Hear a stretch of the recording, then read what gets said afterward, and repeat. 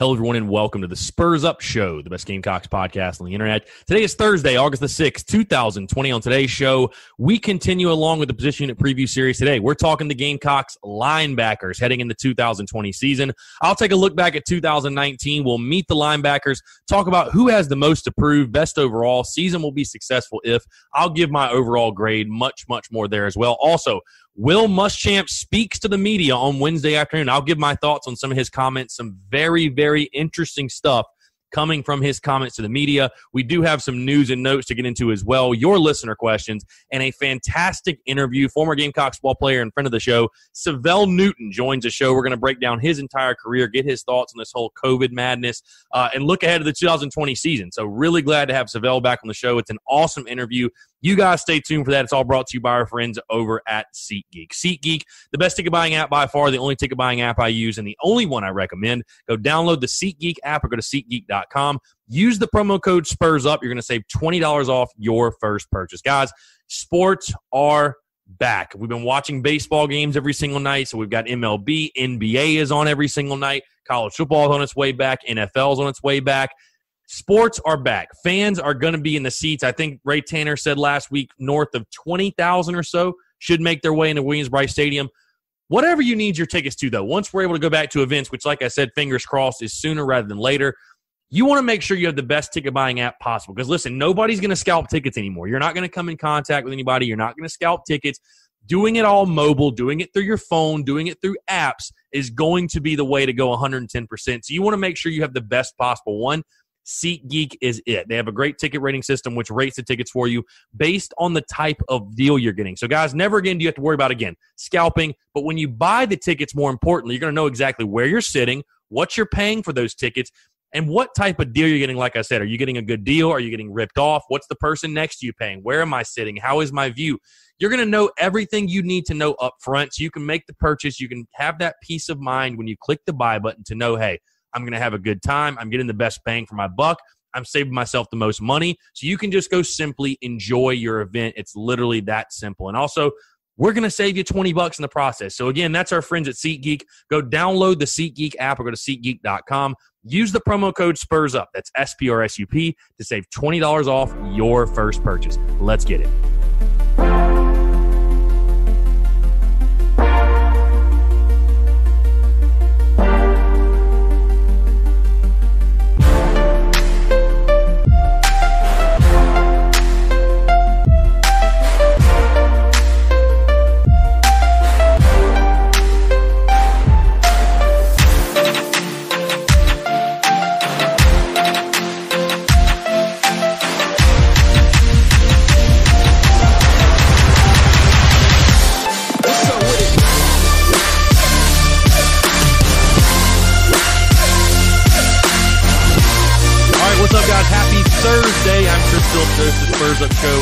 Always. Appreciate you guys tuning in. We have got a packed show, lot to get to, a lot of football talk on this show today, and it feels great because as we creep, slowly creep closer and closer to the start of college football season, it feels good. You can feel that that energy that I, I feel energized today. I feel very, very energized because again, we're starting to get pressers again. We're about to get the SEC schedule. I thought we were going to get it Wednesday afternoon. Seems like we have not. So we're probably going to get it Thursday, but we should have it by the end of the week. Football is in motion, though. Football is in motion. We have a start date for fall camp, which I'm going to get into a little bit later. It feels good. It feels good. Football, again, is slowly on its way back. And I, for one, am fired up about it. I know you are as well. And again, this is a football heavy show today. Again, as we get closer and closer and closer. What are we, 51 days now until kickoff with the updated kickoff date? So I'm fired up as ever for it. I am fired up as ever, and I appreciate you guys tuning in today. Before we get into everything, really, really quickly, as always, if you have not done so, take five seconds, click the pause button. We're hey, we're 10 reviews away on iTunes from 300. I would love to hit that 300 mark. So take five seconds, click the pause button, go leave your thoughts, your feedback, whether you like the show, you hate the show, you like me, you hate me, you have some suggestions, whatever it is that's a great place to do it. But if you have five seconds, go leave five stars, whether you're on iTunes, Spotify, Stitcher, Google Play.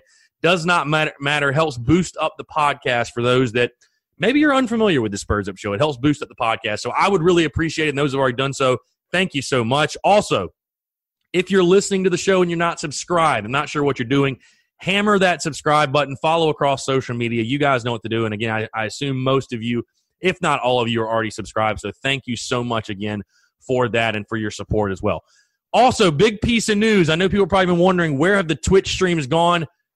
As soon as the schedule drops, which should be at the end of this week, hell, when you're listening to this, it might have already dropped. But I am planning on starting the NCAA football 14 streams next week. I'm planning on starting those next week. So you guys stay tuned for that. I'm very, very, very excited about those. So stay tuned for that. Stay tuned for the details, but the Twitch content's going to come back. Also, just want to shamelessly plug this again. Rowdy Rooster Radio. We've been doing it every day. Did not have Rowdy Rooster Radio on Wednesday afternoon due to the interview you're going to hear with Syvelle Newton. That sort of took priority over that. Um, and honestly, guys, this first week has been sort of a sort of a trial and error run, if you will. As you can obviously hear if you've tuned in, the audio quality isn't fantastic right now. I'm still working with blogtalkradio.com to get them to fix that. So I can promise you, week two of Rowdy Rooster Radio is going to be much, much more organized, put together. But so far, I've had a lot of fun with it. I think it's been a big success. And again, it's going to get more amped up and it's going to get more I think, intense as we get closer to football season for sure. But you guys be sure to tune in that Monday through Friday every single day, 4 to 6 p.m. There's a call in number as well. Um, it's a lot of fun, very interactive, a lot of fun, always a lot to talk about. Not just talking Gamecocks either, SEC, but I was talking Braves the other day. Um, was talking Last Chance U. We're going to be talking professional sports. We're going to be talking common common interest topics, a little bit of everything. So you guys tune in. Rowdy Rooster Radio Monday through Friday, 4 to 6 p.m very, very, very excited for that piece of content, how that's going to evolve as we get closer to football season as well. Uh, all right, let's dive right into it. The position unit preview series. We're almost done with these. We're actually almost done with these. Um, we have linebackers left and defensive backs, and that's it. We've literally got one more after this. So um, we're talking Gamecocks linebackers today, a very, very interesting position on the South Carolina defense. Like I've said before, I'm very high on this South Carolina defense heading into 2020 football season. I think by far this is Will Muschamp's best unit defensively. I think there's a ton of athleticism. For whatever reason, the linebackers have seemed to be a consistent question mark under Will Muschamp. Um, let's take a look back first at 2019. Taking a look at the stats, you know, Ernest Jones leading the team in total tackles, and I thought he was a guy that really broke out last year. 97 total tackles, five and a half tackles for loss. He had a, a, sack on the year as well. Had two picks. Had a forced fumble. He was a playmaker for you, and, and I think I was sort of surprised. Not surprised in the, in the sense of like he has the ability, but I think we all expected expected T.J. Brunson as the senior to. You know their stats to be reversed, I guess you could say. T.J. Brunson, I mean, a very respectable year, seventy-seven total tackles, six tackles for loss. Uh, didn't record a sack, but did have an interception and a fumble recovery as well. So again, what you expect from the senior playmaker. But really, to me, Ernest Jones was the one that sort of made a huge splash. I mean, almost 100 tackles in a year. That is getting after it. That is absolutely getting after it. So, Ernest Jones leading the way. You take a look down the list, though. Other guys that made a contribution Sherrod Green, who's had a very interesting career at South Carolina for sure. Uh, huge drop off, 35 total tackles. So you had Ernest Jones and TJ Brunson at 97 and 77. You go all the way down to Sherrod Green, 35 total tackles. He had six and a half tackles for loss, half a sack, um, two quarterback hurries. Keep going down. Damani Staley, 22 total tackles, two tackles for loss. Let's see what else. Um, that was it for him. Danny Fennell, who came in and out of that position a little bit, 15 total tackles, three tackles for loss. Um, and then Jahmar Brown, a guy we're going to talk about, six total tackles on the year uh, in his freshman season, one tackle for loss for Jahmar Brown. So, and that pretty much rounds it out. You had some other guys that played sparingly, like Rosendo Louis, three total tackles, one tackle for loss. Um, Eldridge Thompson had three tackles. Spencer Eason Riddle had six tackles. So you had other guys that played a little bit here and there, but the main guys at the top are Ernest Jones, T.J. Brunson, Sherrod Green. Um, you know, you're going to be depending on all those guys outside of T.J. Brunson, who is now in the NFL. So, uh, really interesting group. Again, I think there's still questions with this group but there's certainly not a lack of talent. I think all over the defense, like I've said about every defensive position, there's not a lack of talent, I feel like, on the defense. Um, let's meet the linebackers heading into 2020 football season. Starting out sophomore Jahmar Brown, senior Spencer Eason Riddle, senior Sherrod Green, junior Ernest Jones, freshman Mohamed Kaba, sophomore Rosendo Louis Jr., junior Sean McGonigal, senior Damani Staley, sophomore Noah Vincent, freshman Daryl Ware, and senior Donovan Wirt. So there is some veteran. There's veteran guys there. I mean, you think about it. There are veteran guys in this linebacker core. Again, Ernest Jones, the junior. Sherrod Green's a senior now. Um, you know, Damani Staley's a senior now. So you have some veteran experienced guys, but really the question we all know is replacing the production of TJ Brunson. Who, who's going to be that number two linebacker, if you will? Um, so let's dive right into that. Most approved, best overall. Season will be successful if, and I'll give my overall grade for the unit as well. You guys know how we do it. Let's start with the most approved. And, you know, I just kind of harped on how much experience you have at the linebacker position. But for me, the most approved, and, you know, I talked about one of the guys earlier, and they're two young guys. I think there's two young guys because listen, just off the jump, I think you know Ernest Jones and Sherrod Green are two of your starting linebackers. Like that's not a secret to anybody. Those two guys are going to be your starting linebackers. They've they've played a lot of good football for you. Ernest Jones, obviously, I think is going to be one of the best linebackers in the SEC, and I'll talk about him a little bit more in just a second. But you know, I think Sherrod Green is a player that listen. His sophomore year, he was not very good. I mean, there's no other way to put it. He was not very good. I thought he took a big jump last year for South Carolina. I was looking back at last year. Going into last season, Sherrod Green was my guy that I said had the most to prove among the linebackers. And, I thought he played well. Listen, did he play great? No, I'm not going to say he played great, but I thought he played well. I thought he had a better season for South Carolina. So I think you know, no doubt, Ernest Jones and Sherrod Green are going to be your two starting linebackers. So to me, the most to prove and who has to step up for South Carolina, one of these two dudes, I couldn't narrow it down to one guy. One of these two dudes, one of these two young cats has to step up for South Carolina at the other linebacker spot, and that is Jahmar Brown and Mo Kaba. Jahmar Brown and Mo Kaba. Like I said, Jahmar Brown played a little bit last year. Mo Kaba, a true freshman. You take a look at their measurables, though. Um, you take a look at their measure. Jahmar Brown, 6'1", 205, and Mo Kaba as a true freshman, 6'2", 220. So some very, very good size on those guys. Listen, you know, it's tough to ask young players to come in and play a ton of snaps in the SEC. That, that no matter the position, there's few guys that can really do it and do it successfully. But this is why you recruit, right? These are the type of guys that you need to hit on in recruiting. You just simply put, you've had some misses at the linebacker position. I think specifically of a guy, Rosendo Louis. I don't know what's happened to Rosendo. Like I'd love to see a guy like Rosendo Louis fill the other linebacker spot, but I can't depend on it. I, I just can't. I, I, don't know what's happened to him. I don't know what the deal is, but I simply can't depend on him. So you're going to need a young guy to step up at this other position. Now, could a guy like a Damani Staley possibly fit in? Maybe so, but I think overall talent wise, the the ceiling for the guys, I think you're looking at guys like Jahmar Brown and Mo Kaba. And Mo, these are both guys that were very highly regarded and very much hyped coming into South Carolina. So again, a lot of you have asked me, by the way, over the different position groups, Chris, why are you putting a freshman or a young player as, as someone who has the most to prove? Why are you not putting a veteran guy? Well, here's the thing. A lot of these freshmen, their ceiling, like experience isn't everything. It's a great thing, but it's not everything. There's a lot of young guys on our team that have much higher ceilings than some of our older veteran guys. It just bottom line. I think Damani Staley, listen, I think he's a nice piece. I think he's a solid piece. I think he's a guy that'll be in the rotation.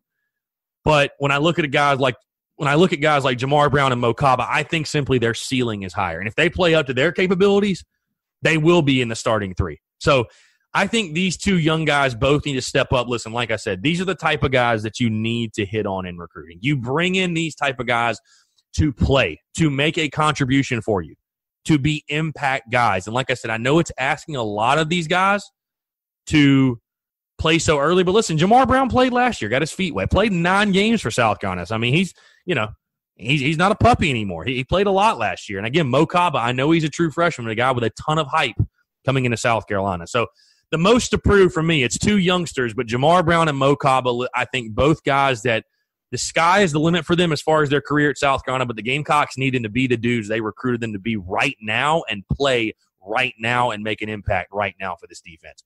Um, best overall, listen, it's no shock. It's Ernest Jones. It's not even close. It's Ernest Jones. I talked about a little bit earlier in the show. Uh, Ernest Jones I am very excited for Ernest Jones. I, listen, I think Ernest Jones is a star in the making. I, really believe Ernest Jones is a star in the making. I think he's the next great linebacker at South Carolina. Um, you know, I think he's a dude that maybe doesn't get talked about quite as much as some of the other linebackers in the SEC. And, you know, I know he's been sprinkled in here and there among some uh, all SEC teams and stuff like that. But the dude just has a knack for the ball. He's a solid overall player. There's nothing, I, I feel like maybe he's not great at one thing, but he has no deficiencies. I, I don't feel like Ernest Jones as a linebacker has many deficiencies, if any. So I think Ernest Jones is a star in the making for this South Carolina defense. You know, he, he's he. I mean, you saw him last year as a sophomore lead the team in total tackles. I, I think he 100% does that again. I think he might even hit the 100 total tackle mark this year. Had 97 last year. Again, playing just in just 10 games though. Probably going to be pretty tough to hit that mark. But either way, I fully expect him to lead this team in tackles. I think again, Ernest Jones is one of your best players on defense as a whole. Period.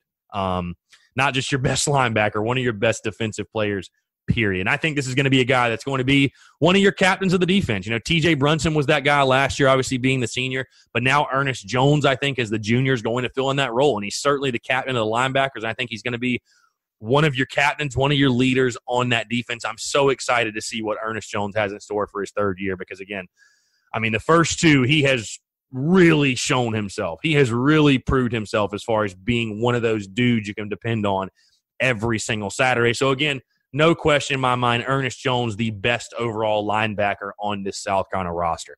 Um, season will be successful if. Season will be successful if. So this one was kind of interesting because I'm not really attaching anything statistically to it. Um, I'm not attaching anything statistically to this for a successful season. But, you know, the biggest thing that I want to see from these Gamecock linebackers it's just simply more consistency. Uh, just just more consistency. You know, listen, the linebackers we all know are the weakness of the defense. They have been the weakness of the defense. It seems like for the past couple years. And like I said, I think they got better last year. I, I really think they got better, which was kind of crazy to think because they lost Skai Moore to the NFL. But I definitely thought they were more consistent with Brunson, with Sherrod Green, with Ernest Jones.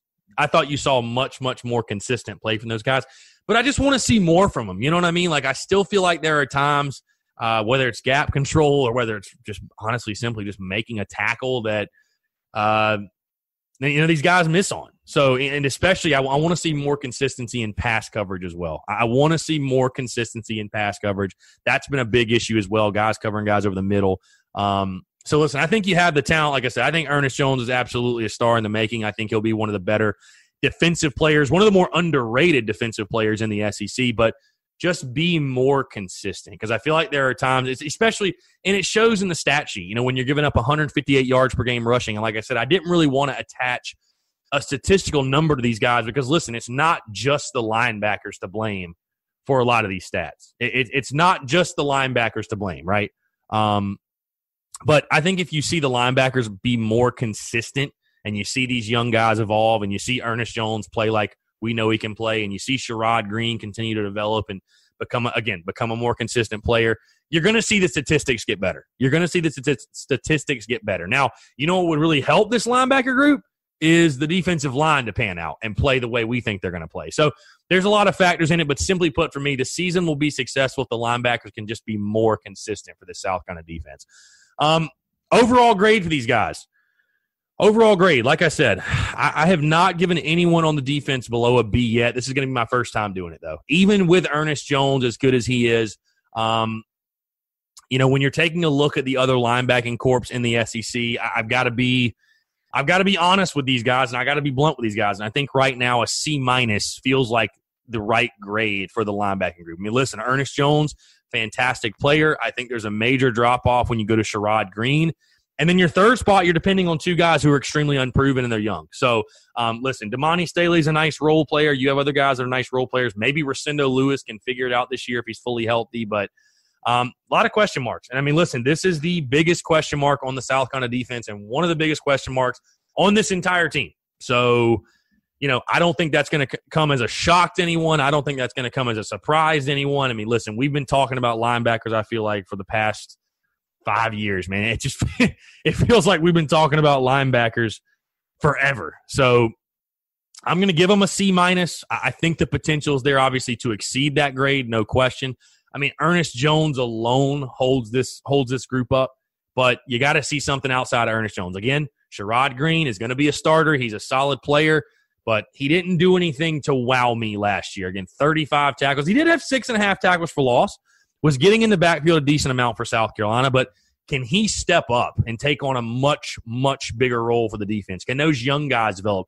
So there's just questions at the linebacker spot. So again, I'm going to give him a grade of C minus. I think the potential is there to obviously exceed that, but C minus for me feels right right now. So again, that is the linebackers heading into the 2020 football season. Again, biggest question mark on the defense, but I do certainly think, you know, they could become. I think South Carolina can at least be average at the linebacker spot. I don't think South Carolina has to be below average at linebacker. I think they can be good enough to help support the rest of this defense to where the defense can still thrive and be successful. So, um, yeah, that's the wrap on the linebackers. All right, let's talk about this Will Muschamp presser. Will Muschamp speaking to the media on Wednesday afternoon, and he had some very, very, very interesting comments, no question. Um, let's dive right into it. So, two offensive linemen for the Gamecocks have decided to opt out Mark Fox and Jordan Rhodes opting out for the 2020 season due to the coronavirus pandemic. And I know a lot of people ask me, who are these guys? Will they play? Uh, maybe some that don't keep up as closely. Will those guys play? Jordan Rhodes, absolutely. Um, Jordan Rhodes was no doubt battling for a position on the offensive line, most likely at the guard position, and was at worst a guy who was going to factor in the rotation. So, you know, listen, the guys want to opt out. That's completely fine. That's their choice, and I'm not holding against them for sure. Nobody should. You shouldn't hold it against them. If you don't feel safe, do not play. I agree with that 100%. But, you know, definitely going to hurt from a depth standpoint when you lose a guy like Jordan Rhodes. That's definitely going to hurt from a depth standpoint. So, um, you know, it's really just next man up mentality at this point. That's really all you can do if you're the Gamecocks. Um, let's see. Next thing up, of course, Luke Doty. Oh man, Luke Doty has been the popular man as far as conversation goes the past few days, really since the weekend. Luke Doty, the wide receiver. Luke Doty's running routes. Oh, uh, and I've been very, you know, listen, I'm like, official practice hadn't even started yet. I, am all t- I'm taking it all with a grain of salt. There, there's nothing really that I, am going to buy into right now. I'm, I'm not going to bite at it. You know, what I am going to wait and see. Um, I'm like, how how do you know he's been working out at wideout when practice has not even started? Will Muschamp asked about it today, of course, and did give a little bit of an insight. And this is what he said. This is via Mike Uva, our good friend Mike. Um, he said Muschamp says Luke Doty is still a quarterback, but adds with his skill set, quote, He's a guy who is going to play some different things for us. So I think that all but confirms that Luke Doty is probably going to get somewhat of a look at wide receiver. You know, listen, I, I want the best 22 to play, right? I want the best 22 to play. I think this speaks to two things. Number one, the wide receiver room is a weakness, and and that's not, I'm not like I'm not saying something you guys didn't already know. Hell, I gave the wide receivers a D plus in the position unit previews. That, that we know it's a weakness. Okay, we know that.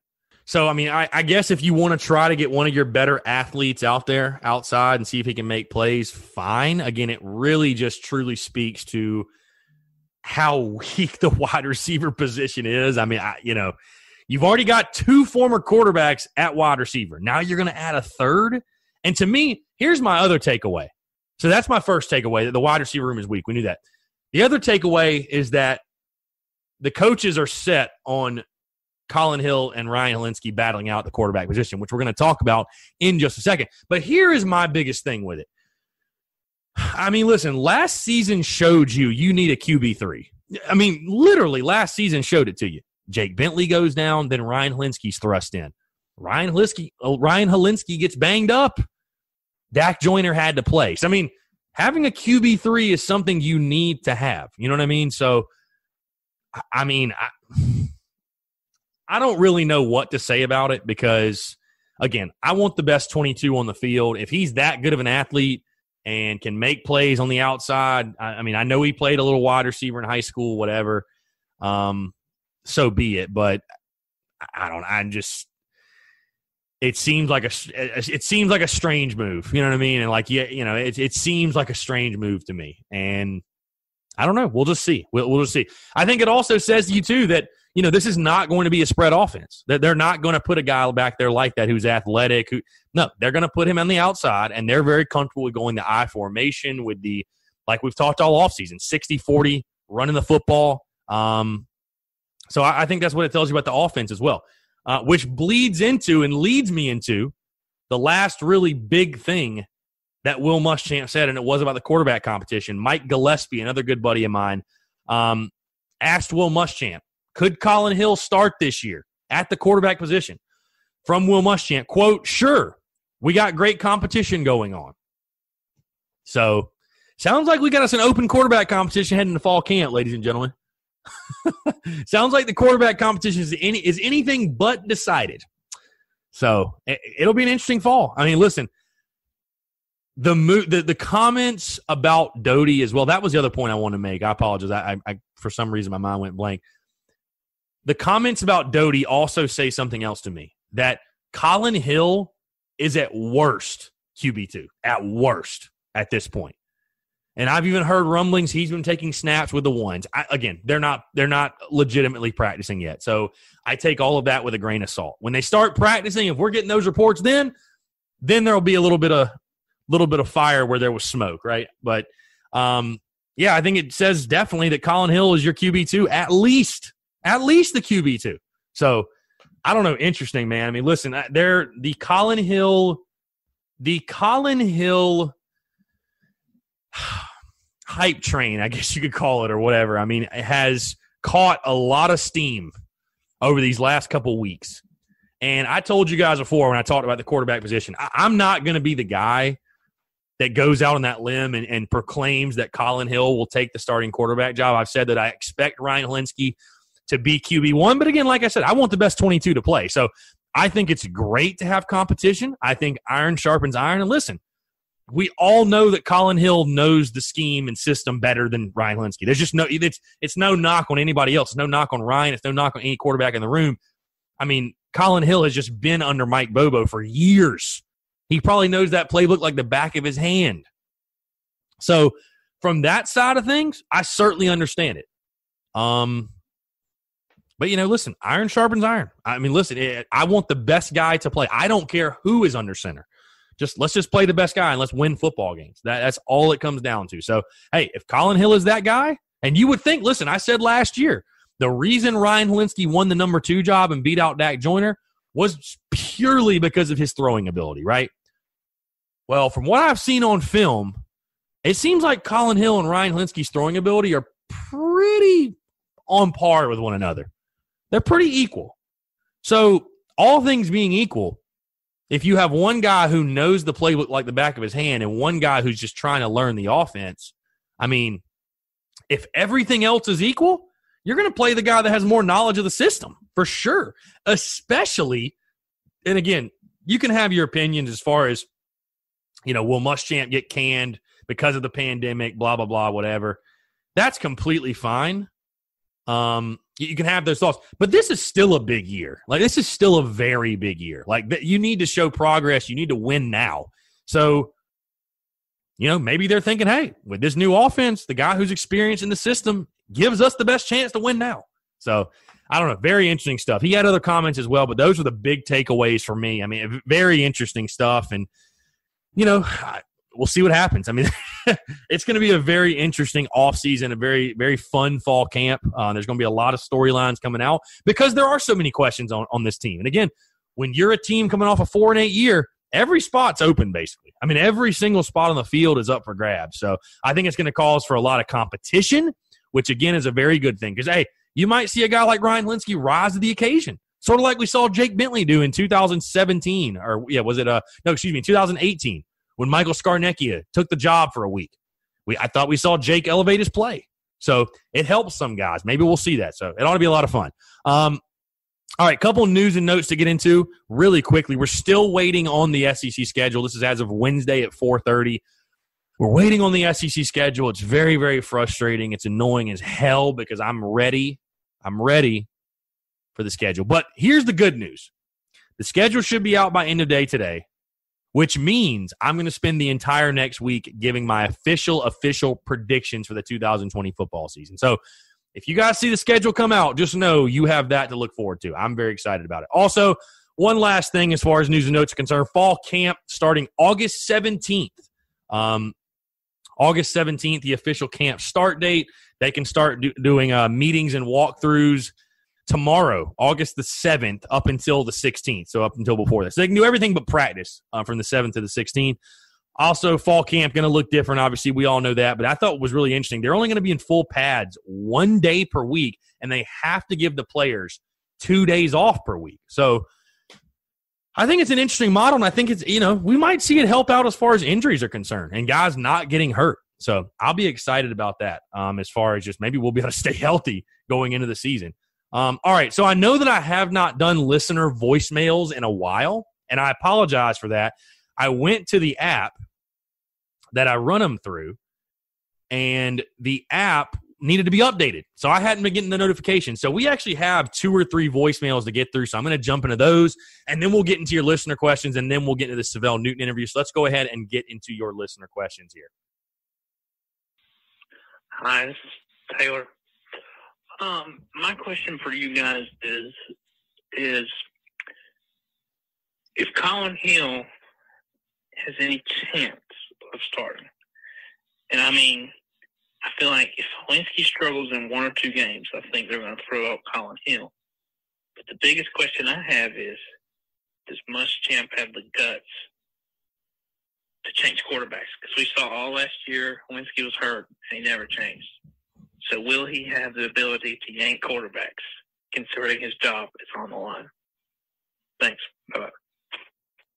Taylor, appreciate the voicemail, and I hope you're listening because that voicemail was left July the seventh. Um, so, like I said, I apologize. The, vo- the the notifications were not coming through, but Taylor, thank you for the voicemail. Listen, it's a great question, and I think honestly, because listen, we have seen Muschamp be stubborn with quarterbacks. We just simply have. I mean, he he was he was loyal to Jake Bentley to a fault.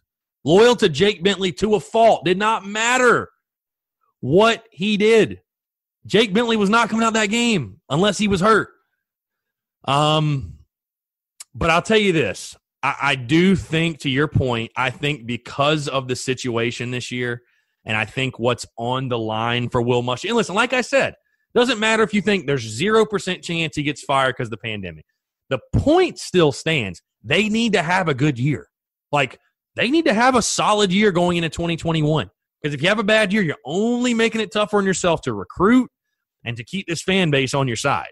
So, you know, they need to have a good year. So I just don't think I, I I could be wrong, but I think even now, especially with the rumblings we're hearing about Colin Hill, I think the best guy is going to play. I just think there's no time to play favorites. There's no time to be loyal to a fault to guys.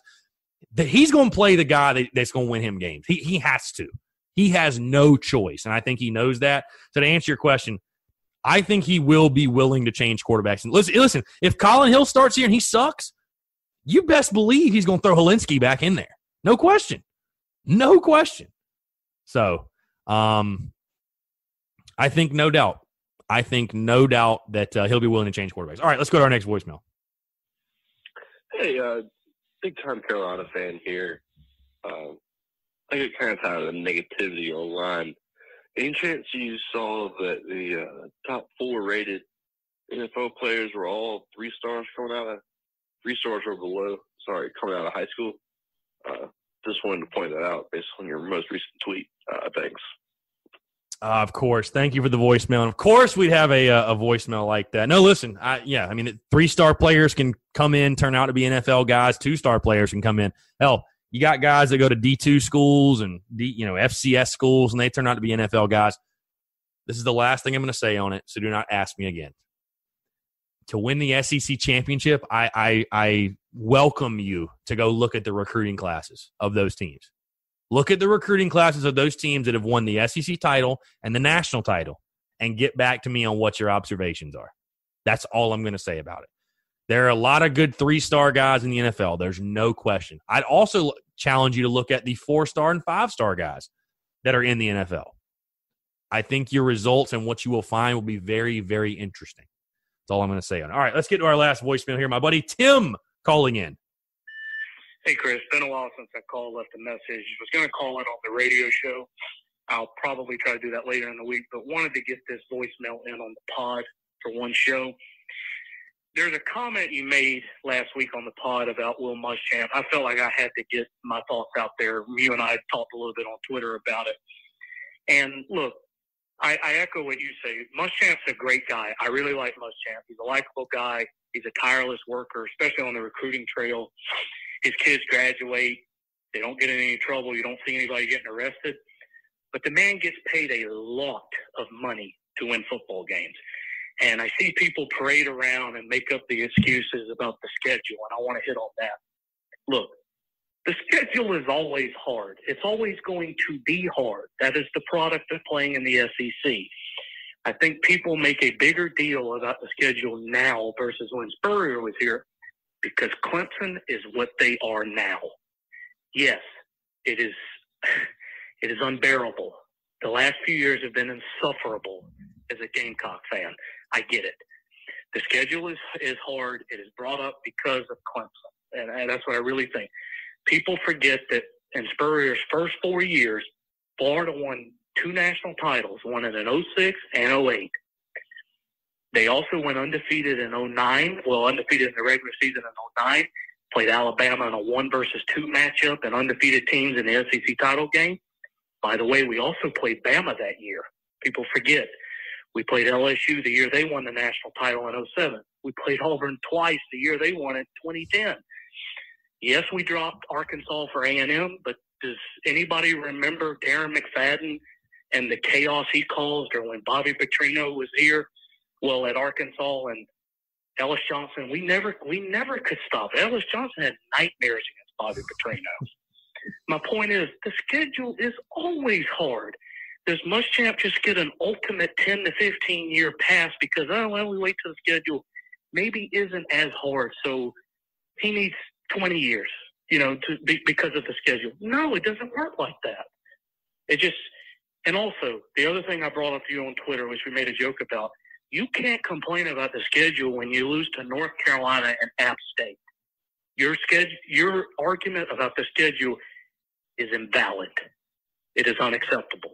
So I want to drop that on there. But good stuff, man. I'll hopefully talk to you soon on the radio show. Take care. All right, Tim.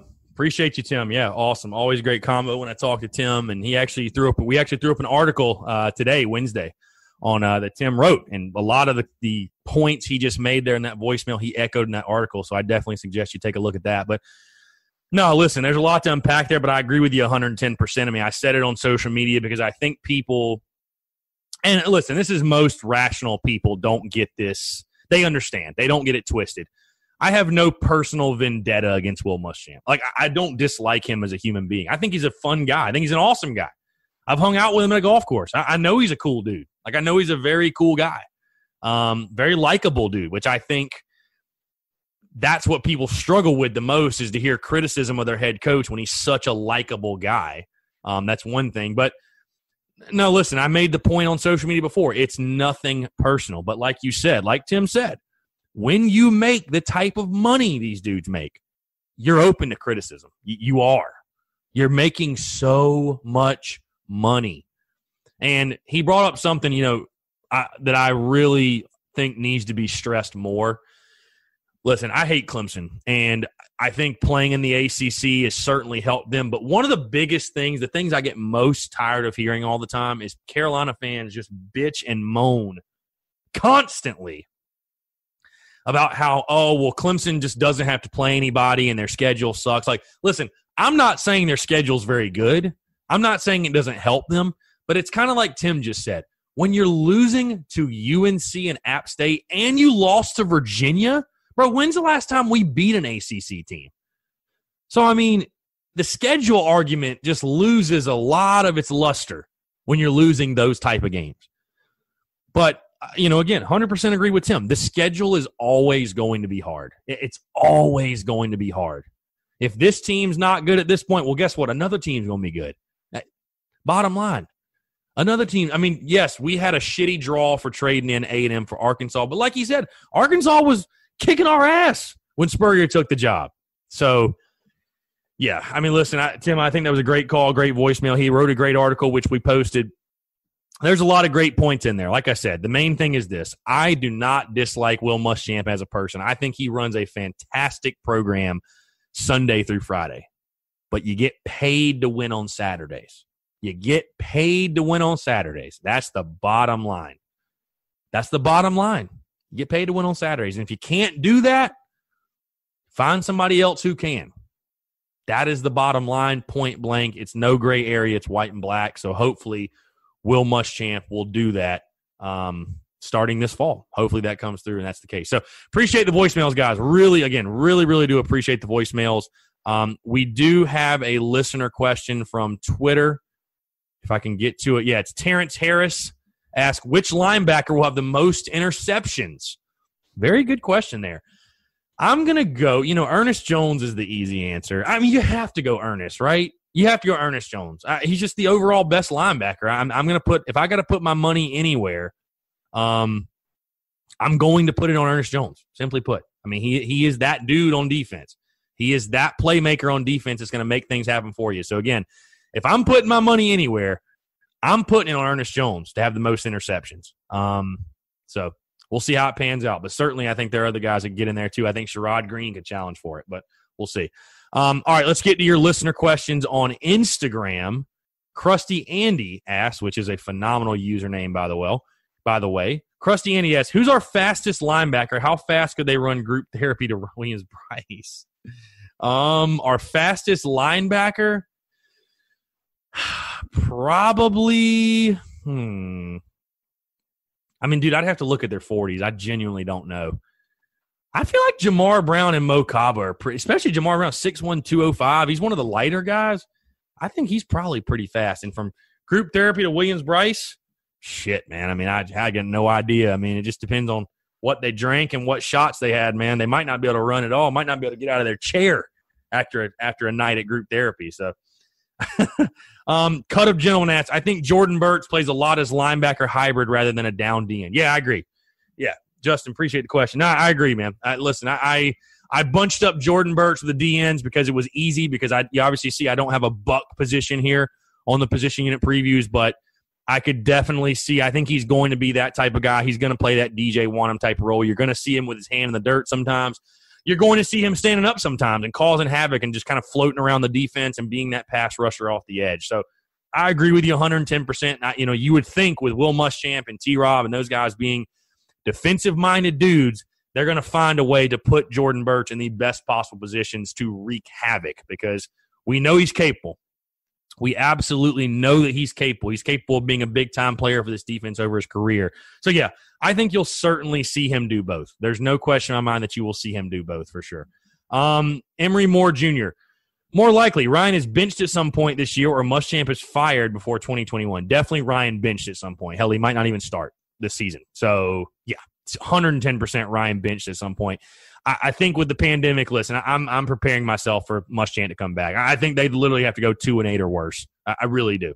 So I think um, much more likely that Ryan gets benched, no doubt. So uh, last question here. Evan B underscore 100. What's the key for the Gamecocks linebackers to make it a no fly zone? I mean, it all comes down to just assignment football. I mean, like I said earlier, be more consistent. I mean, just just simply put assignment football. I think South Carolina has recruited well enough at the position to be effective in the passing game. You know, I think I think they have. We'll see, but uh, you know, I, I think it's just and also getting help from the rest of the defense. Though, I mean, listen, it all starts up front with the defensive line. If we can get the defensive line to play up to their capabilities and wreak havoc on quarterbacks, the linebackers are going to look much better in pass coverage. You know what I mean? So it comes down to a lot of that as well. So I think, listen, you have the players, just be more consistent. Play assignment football. It's really all it comes down to. Um, all right, cool. Appreciate the listener questions, guys. Have a fantastic interview. He's a friend of the show. He's been on before former Gamecocks ball player, really do it all, Swiss Army knife for South Carolina football. Syvelle Newton, a good buddy of mine. Really excited for you guys to hear this conversation. Sit back, relax, enjoy. It's all brought to you by our friends again at SeatGeek. SeatGeek, the best ticket buying app by far, the only ticket buying app I use, and the only one that I recommend. Go download the SeatGeek app or go to SeatGeek.com. Use the promo code Spurs Up. You're going to save $20 off your first purchase. Guys, like I said earlier, sports are on their way back. We're going to have fans in the seat soon. You want to make sure you're getting your tickets through the best ticket buying app possible. What they're going to do for you. They got a great ticket rating system, right? So you're going to know exactly where you're sitting, how much you're paying. Are you getting a good deal? Are you getting ripped off? You're not going to have to scalp any tickets because, listen, scalping is going to become a thing of the past, anyways. So you want to make sure you're going through the best possible app that's going to save you the most money. It's going to give you the best bang for your buck. Zero questions asked. They are changing the game when it comes to ticket buying. So again, that's our friends at SeatGeek. Go download the SeatGeek app or go to SeatGeek.com. Use the promo code SPURS UP. That's S P R S U P to save twenty dollars off your first purchase. Enjoy this conversation with former Gamecocks football player Syvelle Newton.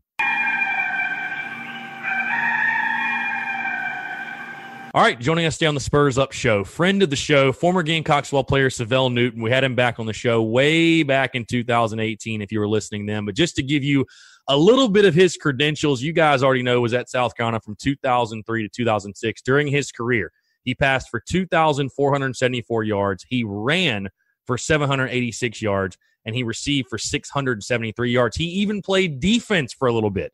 16 mm-hmm. total tackles, or excuse me, 20 total tackles. He had one tackle for loss and one sack that helped South Carolina secure a win over Clemson in 2006.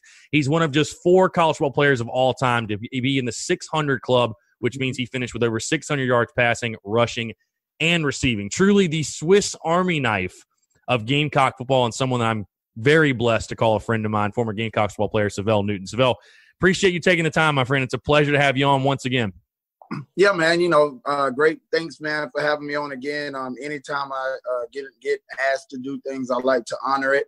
Um, and you know, this we have, like you said, it seemed like it's been such a long time, and it actually has been such mm. a long time since you hit me up and sent me the nice um, sweatshirt doing this. You know, So uh, yeah, man, thanks for having me back on. Yeah, absolutely. So Syvelle, let's go back to the beginning for you because you, you can't talk about your career with just talking about how you got there. Obviously, you were a standout in high school. It was Marlboro County. Um, you really tore it up in high school, one of the top rated recruits in the country. And um, we've got to talk about your recruitment, the official announcement itself, because it came down to South mm-hmm. Carolina and Clemson, and we all know um, the dramatics of recruiting. You know, we see it all the time with guys, which schools they pick, and we see them in these all star games. Like a lot of them that commit to Georgia, they pull out the bulldog, or a lot of them they do different things. Or you went with the hat throw, which if people haven't seen the video, you put on the Clemson hat, you throw it off, you put on the Carolina hat. J- just talk about that day, picking between Carolina and Clemson, and I guess what made you want to do that. I guess. Yeah, it's funny that you uh, brought that up. I was just um, talking to a couple of guys the other day that I uh, played against in high school, and we were talking about the whole recruiting um, thing, and they were saying, man, like they, they didn't remember anybody doing anything like throwing a hat or throwing a hat or switching the hats until I had did it um, back a long time ago, and I was like, I, I doubt I was the first person to do it, but. You but uh, yeah, it was one of the things that we had the hats lined up, and I actually did do that. Um, take the hat off, and um, I actually didn't mean to throw it on the ground, but what had happened was it, it slid. The table was kind of slick, slick, slid off the table. But you know, um, you know, after that, that's just it is what it was. But that was a, it was a long recruiting process. Uh, being a number four, number five quarterback coming out um, in that class, I had so many offers that that man, I I, I might have committed, decommitted, committed, committed, decommitted like maybe like six times.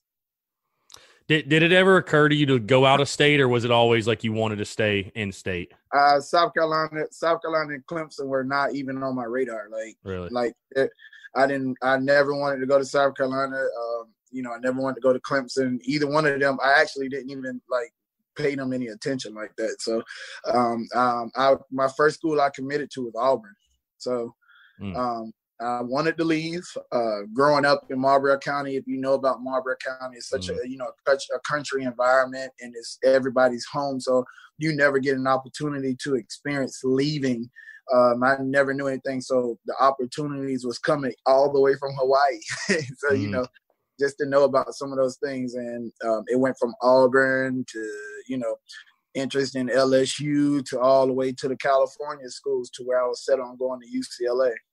And I remember you telling me about when it came down to Carolina and Clemson that you were, I mean, I remember from our conversation last time, you were very close to going to Clemson and then switch yeah. to Carolina. What what went into I guess I mean just what made the final decision? I know obviously Lou Holtz is at USC at the time and obviously which position you're going to play on the field probably had a lot to do with it. But what all went Yeah. into that decision?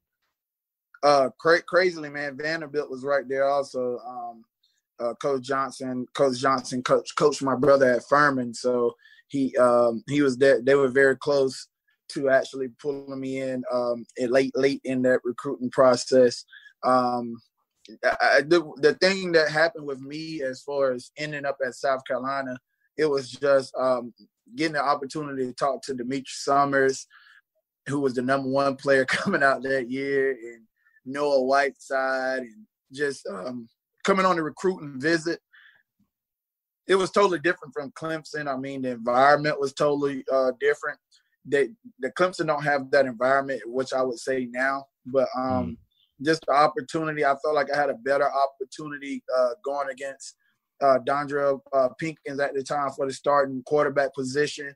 Um, other than trying to compete against uh, Clipboard Jesus, uh, you know, so I, I, I just felt that it was the right place, being able to play for Coach Holtz. Um, when he came to visit me on my in home, it was it, uh, it was such a great in home visit. My mom my mom loved it, and that was just an opportunity for me to, to end up there. Yeah, it, it's not every day you get to play for a Hall of Famer like Lou Holtz. Just expand a little bit on the relationship with him because what I think was interesting, you know, I think a lot of us assumed Skip Holtz would take the head coaching job, and you saw as Lou was there, you know, I think his offense evolved, and Skip really brought out the the spread offense. I mean, you saw kind of Phil Petty running that, and I thought Oh, think yeah. you saw a little bit of it with Corey Jenkins and then Dondrial Pinkins. But just just talk about overall the relationship with the the Holtz family. Well, uh, you know, when I actually Skip Holtz was uh, he played a major factor in my adjustment to the high school game because um, you know, growing up, a lot of things like I said, we it was not we're not uh, actually fortunate to be able to go to camps or anything like that.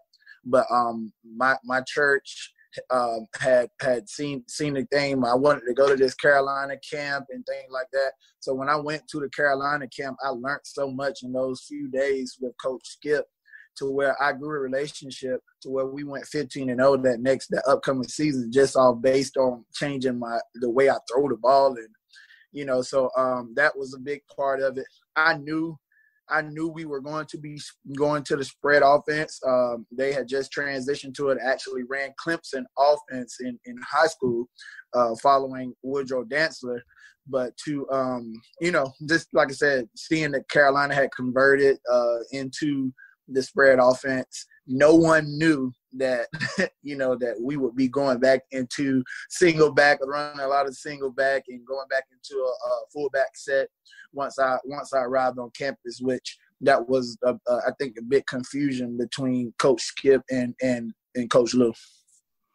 For sure. So I know we talked about it a lot on the last time we talked. You can dive as deep into it or as little as you want, but obviously you were there during the coaching change Lou Holtz to Steve Spurrier and just how it all went down. It was sort of all sudden and everything. And we know how Steve Spurrier's career at South kind of went down, but I remember you last time telling me that you know, listen, it's people don't understand that it's not always a smooth transition for everybody on the roster. You, you go from Oh, a yeah. guy that didn't recruit you to it's a completely different mindset and philosophy and the culture completely changes and stuff like that and you know you were able to find yourself have some success while steve spurrier was there definitely especially at the quarterback position in 2006 but Mhm. um, if you want to expand on it you can if not it's fine but I, I just you know i think people it's interesting to hear your side of just how you know how tough the transition was for some guys you know including yourself Well, it was it was it was very tough for me. Um, you know, for those who who pretty much know what I went through during that time. Um, Mhm. You know, coming off um, finishing that season, being being the um, being the quarterback. Yeah. Ending, ending the season, starting quarterback, um, taking over for Don Drill, beating beating uh, you know teams like Alabama, Arkansas that year. Um, you know, as a freshman, and um, I mean as a real a sophomore, but my first year, and it, it was it was kind of tough, you know, to not even get an opportunity to compete for the starting job when Coach Holtz arrived, when Coach Spurrier arrived on campus. Um, you know, I, at, when he arrived on campus, it was uh, it was immediately you a wide receiver, so Mhm. there was no quarterback battle. Uh, Mm. Blake was crowned was crowned the, the starting position, which I had no idea why. But um, you know, it, it was just it was tough. It was tough to understand, and you know, I was given the opportunity to transfer, but during that time, you know, transferring wasn't uh, it wasn't a big thing. No one actually right. really knew much about it. There was no transfer portal, so you know, I, of course, someone like myself who who's been a starter for two years, and the, the, you know, to get the opportunity to transfer, you know, it's kind of scary because you know you're gonna lose that year uh, or have to go somewhere and sit out. So that was not an option for me. And you know, so I stayed and and and pretty much just just kind of that's when when it kind of well I mean when, as soon as I arrived on campus it was already you know mm. you, you know do whatever I have to do to take to help the team so um, being unselfish you know being unselfish during that transition might have you know put me in a place where you know going seeing these guys uh, like Chris Leak and all these teams lead lead lead their teams to championships or or titles during that time where a running quarterback was mm-hmm. not really, you know, there. And the things that I was doing during that time, like beating Alabama with the two the two touchdowns late in the game, and you know, it just it, it wasn't there. So to know, not under, I was definitely not caught off guard by. I was caught off guard by being not being able to compete for the starting job at all. You know, I was going to say you kind of mentioned it. You sort of touched on it, but just putting a positive spin in almost, I would argue that because of that, 05 and 06 is really where your legend came from, and, and you saw it a little bit in 2004 as well. Because I mean, you you ran the ball pretty pretty decent amount in 2004 as well, but. I think 05 and 06 is really where you saw your value come out as far as, like I said in the beginning of the show, that Swiss Army knife type of player. I mean, and you got hurt that year, I might add. So you were on pace for even more, but 21 carries, 150 yards. You were averaging seven yards a carry, had two touchdowns, and then 27 catches for 297. You had a touchdown that opening game against UCF, um, averaging 11 yards per catch. I mean, you really, you really put yourself on the map, I think, in 05, and again, especially 06 as that true versatile playmaker, like you were saying. I mean, I, I think the proof's in the pudding. The numbers speak out to that.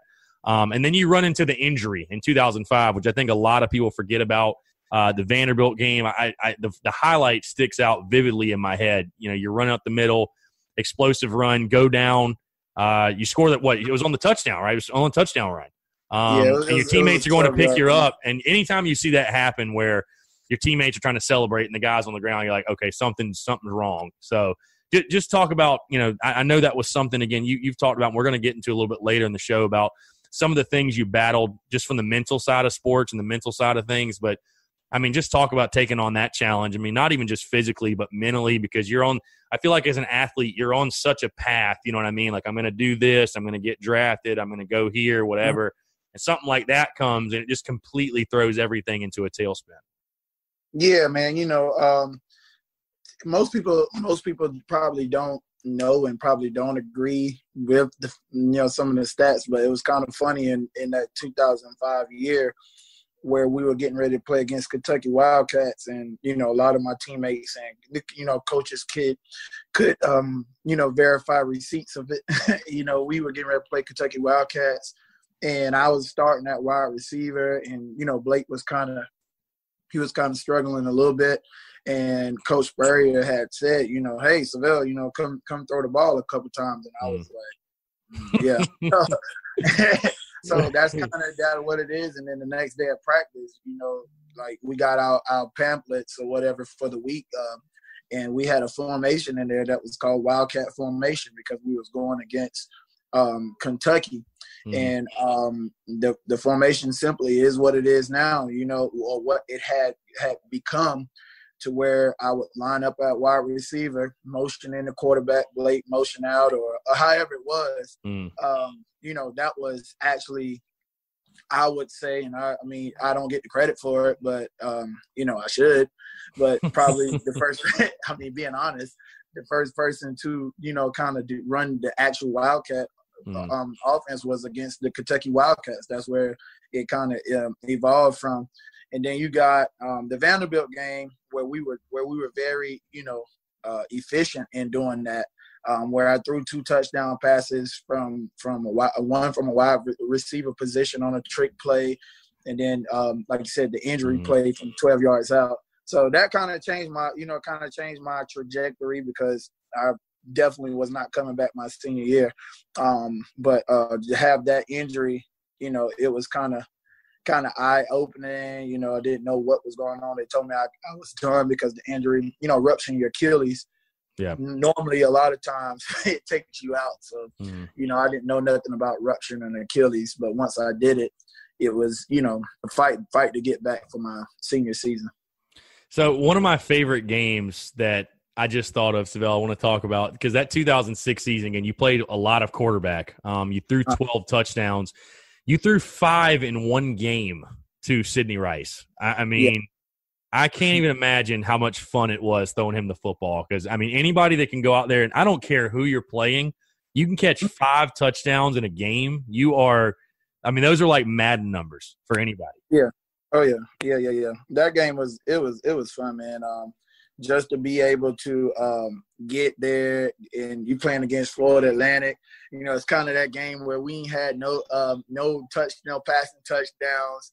Yeah. And they're against those guys and saying, okay, you know, let's do this. And me and Sidney was clicking very well.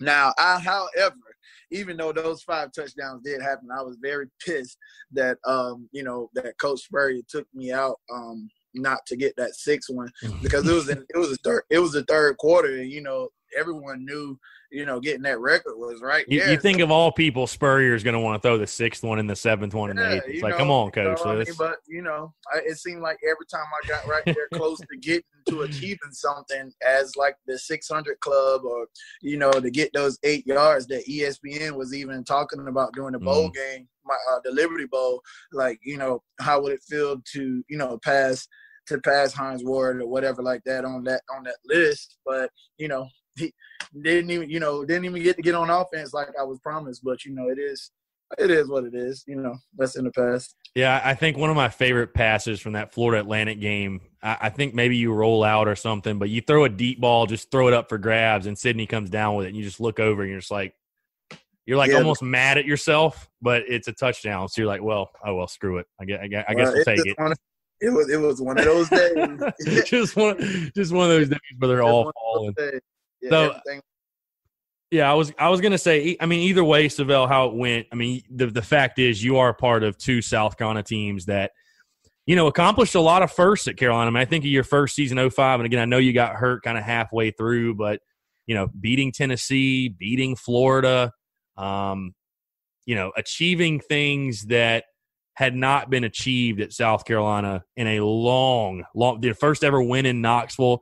And in 06, you know, obviously, again, you win the Liberty Bowl, you beat Clemson at Clemson. I mean, I guess how how special were those times? Do you like looking back now? I mean, just thinking of those teams that you were on, some of the accomplishments you guys had. Again, you know, there there are a lot of teams that since you guys have done different things, you know, we went won 11 games in a row or won 11 games three years in a row and done this and that, but for a couple of things, you you guys, the teams you were on, were the first to do it. You were the yeah. first to do it. Uh, just just talk about like reflecting on it now. How special is that to you?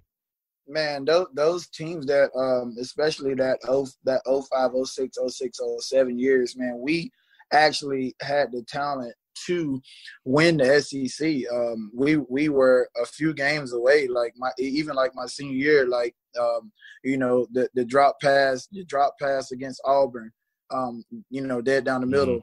Um, you know, uh, Tennessee, fourth and you know, fourth and fourth and eight. We come back, we beaten those guys, and we had them, and then you know the pass down the sideline against Carlos Thomas. Um, you know that that year, Florida. You know, Florida. Mm-hmm. My I dropped the interception that could have ended the game. I was I was at safety, and I mean, by God, the ball hit me dead in my hands. and then you know, and we had him fourth like fourth and two down, and Tebow jumps over my head because I, I was not going to hit him again. Mm. But um, you know that that was a game. Then three block field goals. We beat Florida. You know, we win those games. It's small things that we that we win those games. We're we're right there at the 10, 11 games, just like you know the other teams that came about. And then no Demetris Summers. I mean, come on. yeah, seriously. No, yeah. I, I think it's uh you know, obviously, uh, you know, Jared Cook's had a fantastic career in the NFL. Oh, yeah. I, I, think right. it's a little unfair. He's only, I feel like he's only remembered at South Carolina for that drop pass. I, like that's the no. first thing that comes to everybody's mind is that drop pass. well, you know, they can remember it for, for him. Uh, for me, yes, but um, for, for for others, I mean, he he had a great career, a great career at Carolina, man. Um, you know, watching his transition. Um, I know we're not talking about him, but watching Right, his right. Transition, um, that close, that close to leaving Carolina. I mean, he struggled. He struggled so much getting used to um, what Coach Steve Spurrier Jr. was doing with um, the wide receivers, not fitting that mold, being six five, not you know, not as fast at the time, but um, but super athletic. And I'm I'm so happy that he found a home and was able to transition and not you know not be selfish, transition into that that tight end position to where he found a home and and and look at him. I mean, making all Yeah. the um, Yeah. Pro Bowls and things. Great for him. Yeah, Jared's a physical freak, man. He is he is a specimen, that is for sure. So I, I want to jump to Syvelle again, like I mentioned, over your career, um, 18 total tackles, a tackle for, or a tackle for loss and a sack. And like I said, the sack came in the Clemson game. But just you Uh-huh. playing defense, like I think a lot of people probably forget that you played defense. J- Just Yep. I I remember we talked about it a little bit last time, but again, just just talk about how that came about because it seems so strange to take one of, if not your best offensive playmaker, and put him at safety. Man, that story, you know, that story has I, I've hit that story so many times on the head, and and and you know, right now I'm so I'm so in a different space in life. Right. The way I talk about it now, the way I would talk probably talked about it the last time we was on this podcast. Um, you know, it, it it was it was definitely something that I did never wanted to do and never thought I would have had to do. Um, but you know, I was I was forced into that, man. It was it was kind of like I woke up. I woke up to a phone call said, "Hey, you got to be at the defensive meeting," and you know, I was like, "Okay, well, maybe they wanted me to to, to, point some things out what they were doing on the offense. On, on Florida was doing on the offensive side. I never thought. No, then Coach Ron Cooper, um, who made the actual phone call to me, um, I'm pretty sure he can uh, verify this. Um, basically said, "No, son, you you know, we, uh, coach coach made a decision to move you move you to defense. You know, you go from being the starting quarterback against Auburn, getting um, you know all eight blitzed at you the whole time and running play action passes. Then Blake gets in and, uh, you know, then finally goes a three step drop while I'm crying on the sideline. Like, let me throw some three step drops. But um, that was that was pretty much that was pretty much how, how that went. And, um, you know, and I asked, I asked, you know, I asked coach, coach, uh, I was like, Hey man, what's going on? I, I, I can't move back to wide receiver or running back or anything at that time. And it was, I was specifically told, no, we don't have a place for you on offense. So I was like, wow, you know, so that whole week I just made, made my mind up. I was going to disrupt practice by jamming every receiver that we had on the line. And, and I didn't care if it was Sidney. I didn't care who it was. Like that was probably, if you ask anybody who was on that team, that was probably one of the most intense practice weeks that we had, which almost put us in line to beat uh, beat Florida that week.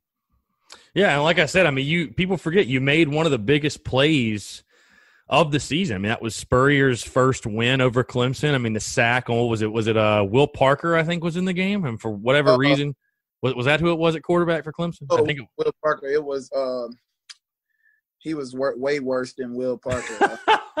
who was it? I, why am I? Why is this name slipping my mind? uh, gosh, Is it uh, Colin Harper? Maybe I, I can't remember. I honestly way I worse than Colin Harper. I can't believe I don't remember. Either way, you get the sack though, and what? And um, all I knew he was he had pretty eyes. Yeah, Number fourteen, Proctor. Was it Proctor. There was Proctor. They, I think I got my wills mixed up. It was, I think it was Will Proctor. Yeah, yeah, yeah. Yeah, Why guy. Clemson didn't run the ball, I don't know. But I mean, you you make the sack that set up. You know, one of the most memorable parts of the rivalry was Jad Dean hooking the ball, hooking the ball, and Gamecocks getting the W. So, I mean, Yeah, yeah. How, let me. I'll ask you. How? I mean, just how did it feel to beat Clemson? I mean, you finally beat them. That was, you know, you go out as a senior beating them at their place. You know, Death Valley is silent. We all remember the call by Todd Ellis. That that has to be, that has to be a pretty cool feeling for that to be like your your last regular season game going out Yeah. on top over your rival is like, you know, this is this is awesome. well to get that win, man. I mean, um, it was it was it was everything. Uh, that week, man, we we studied film so much, and um, being an offensive being an offensive player in a defensive meeting room is is is everything because I pointed out they had their, their a left tackle, a left tackle. Um, they had a left tackle during that time that pretty much he he the way he lined up every play told whether they were running the ball or passing. So me being at safety, I would I would scream up to Jasper, be like, pass, run. We knew we knew we knew what was going on. So that um that that actual sack, that actual sack was based on like knowing like they were passing the ball. Right. Otherwise I wouldn't even blitz. Uh, so we knew that they were passing the ball on that play. So to be a part to be a part of that man, to be a part of the win, and and that was actually also the game that that actually turned my my football career um, around. Also by getting hurt that game, well, that's the game I fractured my pelvic bone. I didn't even know it until I got to the combine. So um, mm-hmm. that that was that was a great win, and also you know a great loss for me. Yeah, for sure. I, I want to switch gears a little bit because, like you said, I mean, again, the the adversity that you battled, Syvelle, some of it's very well, a lot of it's very well documented, a lot of it's not.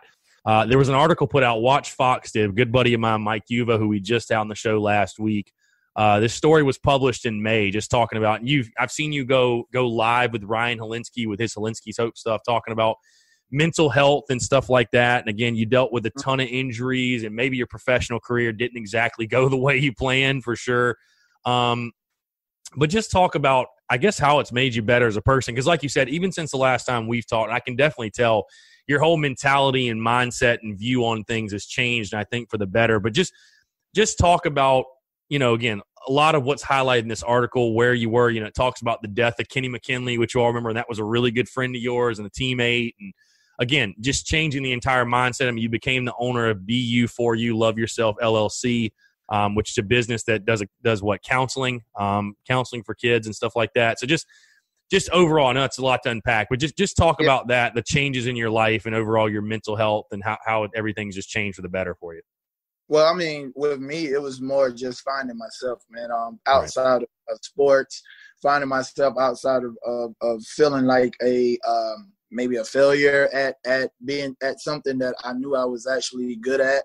Um, you know, I you know, anytime you chasing something, you chasing what I would call what you think is your purpose, mm. and once you don't fulfill that that that that purpose that you think is your is your purpose, it it, it, causes it causes mental issues. It, and it don't have to be football. It don't have to be sports. It could be anything. You know, uh, it could be someone trying fighting to be a doctor or be a lawyer or anything. If they don't become that and they just knew that's what in their heart, like that's what they're supposed to be, they gonna have struggles. And um, that's where I was, and you know, still kind of you know, torn about how some of the things had went on at South South Carolina. That's why I've always had like a kind of chip on my shoulder when it always came to discussing Carolina and, and talking about would I go back and do this and, and my love for the school and everything. So it's been like a love and hate relationship.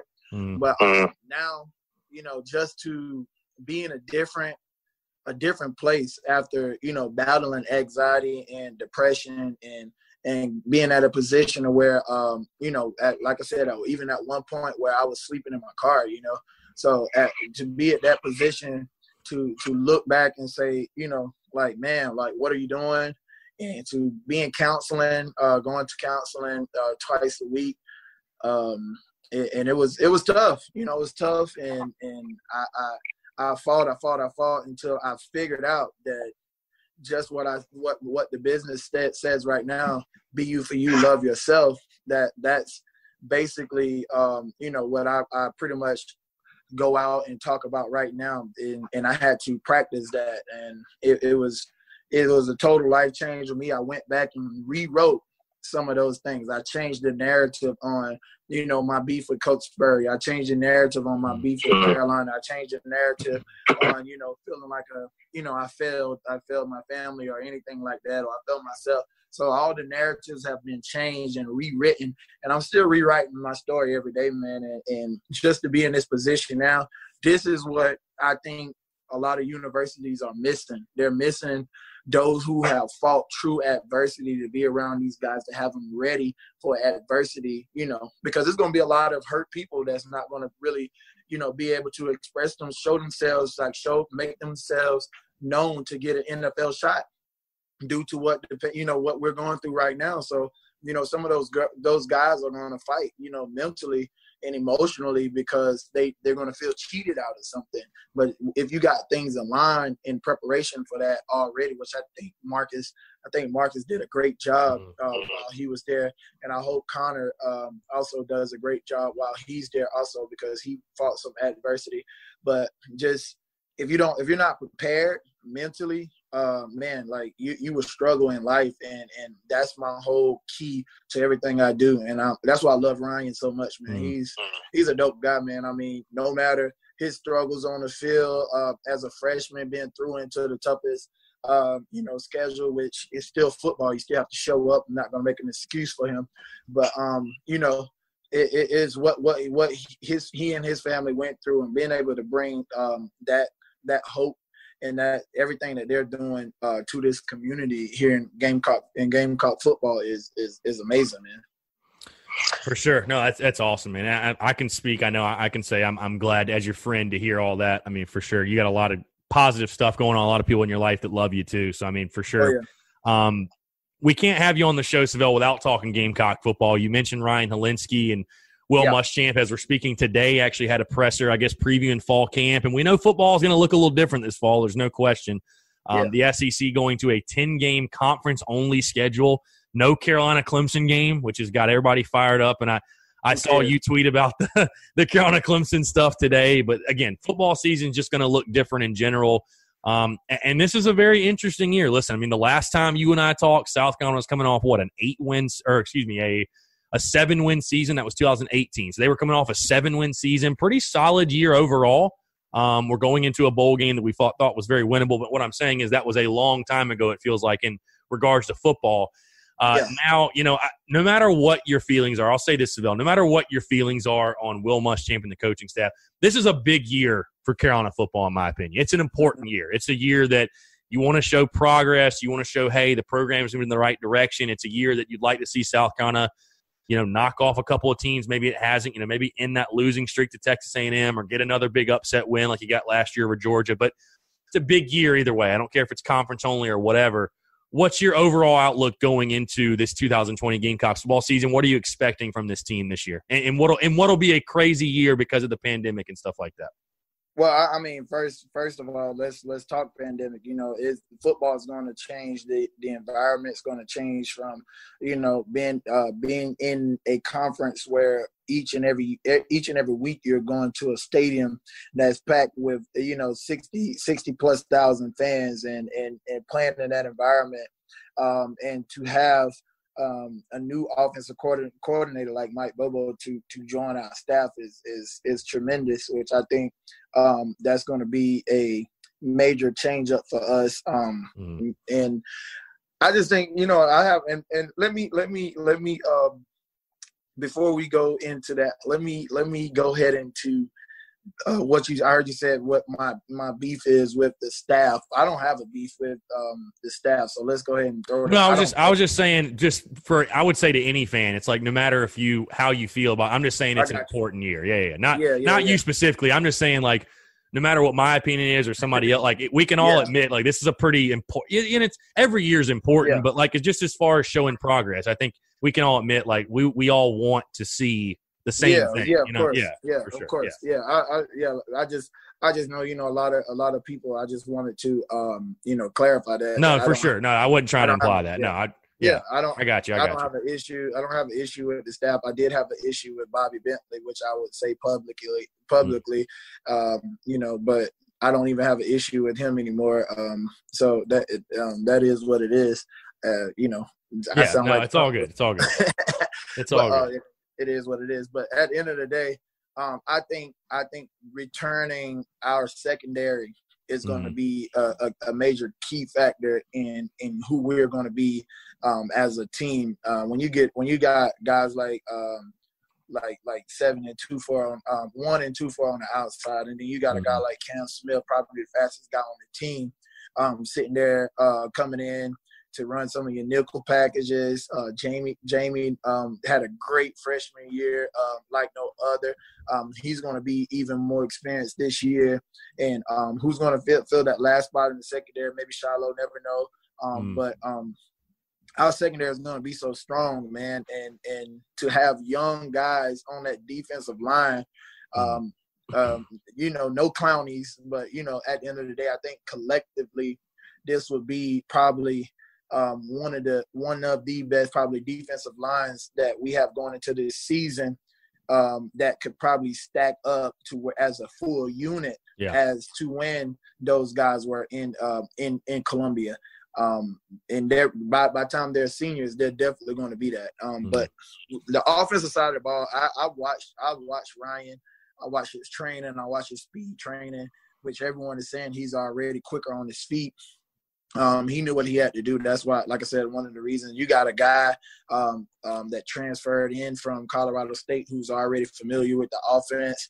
Um, you know, I wouldn't be opposed to seeing a two, you know, a two quarterback uh, system um, where, where anything to help us win. And, and mm-hmm. uh, Luke, you know, Luke, he's a t- tremendous um, guy. He's going to be in that bubble of mm-hmm. is if he's going to be a receiver or if he's going to be um, a quarterback which you know I think he could uh, actually do both.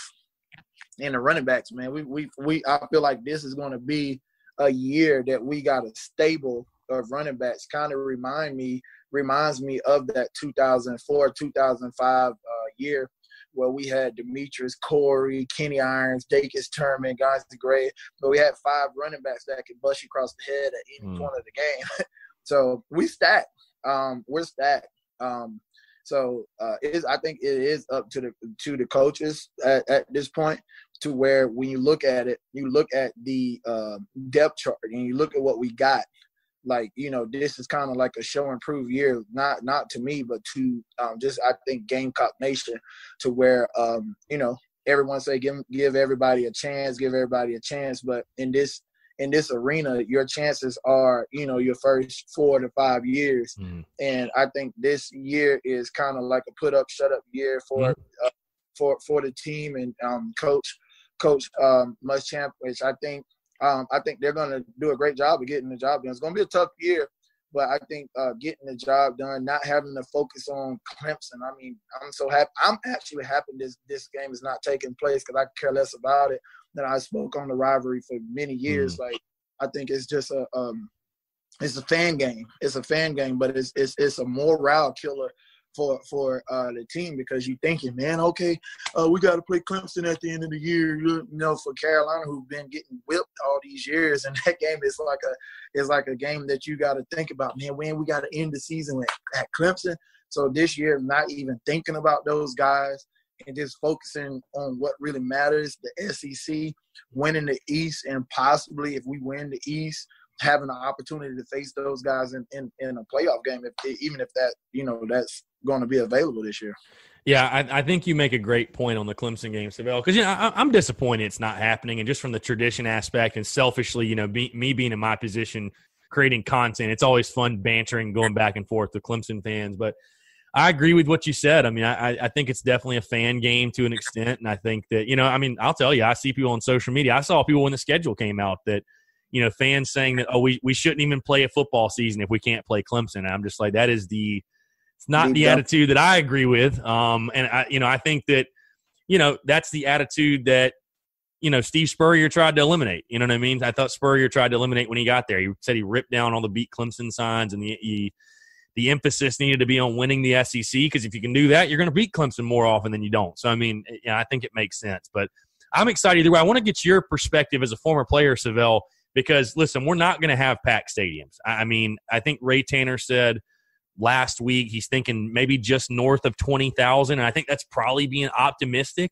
I mean, can you imagine as a former player, could you imagine running out to Williams-Brice and there being 15, 20,000 people in the stands? Like, I mean, again, you got to go out there and do your job and play. But we can both admit, like the crowd, the atmosphere plays a lot into what college football is. I feel like that would be such a weird thing, um, you know, for a former player like yourself. Yeah, it, it would be weird. I, I mean, honestly, um, I, I twenty at twenty thousand fans in in Williams Brice. If the seating if the seating is not um, too spacious, which which we never know how how they're Yeah. going to plan things. I, I can remember one of the loudest games I probably played in. In you would think it would be you know Tennessee or or or LSU, Florida, one of those games, but it was actually in Arkansas, Little Rock, um, where we played Arkansas in their small stadium, not Fayetteville. So Mm. you know, I think that stadium may sit 45,000 fans. So when you think 20,000 fans, you hear the spring game when we got only five, maybe five to, to 10,000 fans, and it still get still gets a little loud when someone makes a good play. That's all you need, you know, um, to make to make things happen. I mean, the XFL they don't play in front of more than 20,000 people a week. So I mean, it's been it's going to be no different in that. I mean, and and putting the ball on the ground and, Yeah. and and and coming out ready you got you got 11 on the other side 11 on one side it, it- it's still football whether whether you know it is done in practice wherever it's done you got to play the game and i just think that if we can go out and just um, take advantage i think it's going to be great for us you know having a new offensive coordinator um, not getting that much time to practice in these things to being able to be in a quieter environment to where we can make adjustments and Right. Yeah. I, I was going to say. I mean, I, I I know you'd probably never say it. I, I know current players would never say it, but you know, I, I think the fact that you're playing an SEC only schedule is going to certainly help because I feel like a lot of the times you need the crowd is like those smaller games where maybe you're not as hyped up. Maybe I don't know. I mean, you bring the same intensity every game, I know, but realistically, the crowd does help them. But like you were saying, I mean, if you're if you can't get fired up to play when you got Auburn or any SEC team lining up across the ball, then Yeah. you need to get your pulse checked for sure. Yeah. There's no doubt.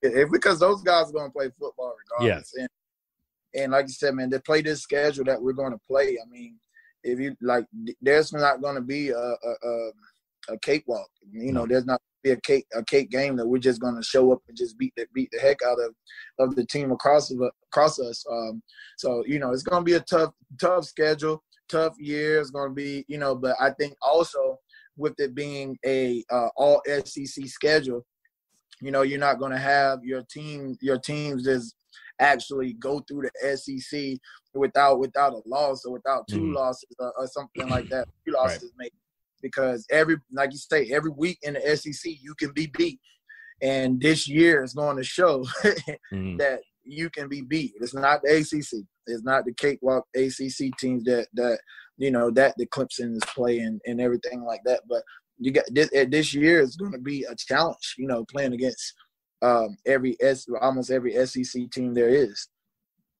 For sure. Syvelle, it's been a great conversation. Last question before I get you out of here. And I know it's probably a tough question, but when you look back on your career at South Carolina, is there one memory or one thing that sticks out to you as maybe one of your favorites? one of my favorite memories. Uh, I think I would I would say probably my favorite my favorite memory was um probably uh being in actually I, I didn't play. Um it was the Tennessee game, um the Tennessee game where I had just ruptured my Achilles, the Mm. Vanderbilt game, and those guys went to Knoxville and being watching it there, and those guys, you know, a lot of them saying, "Hey man, we're gonna get this one for you," and Mhm. um, we, you know, we love you and things like that. And to be in the whole like in the hotel that watching that game, and to see you know see Josh Brown hit that field goal and and Sidney doing the uh, the double clutch slant and over top with Blake got it to him and win that game and and the phone calls and messages after that game that probably was I would say probably the probably most highlighted win or anything victory at, at, at the school that I can remember. That's sad to say, but you know, because I don't have really uh, great memories of of, of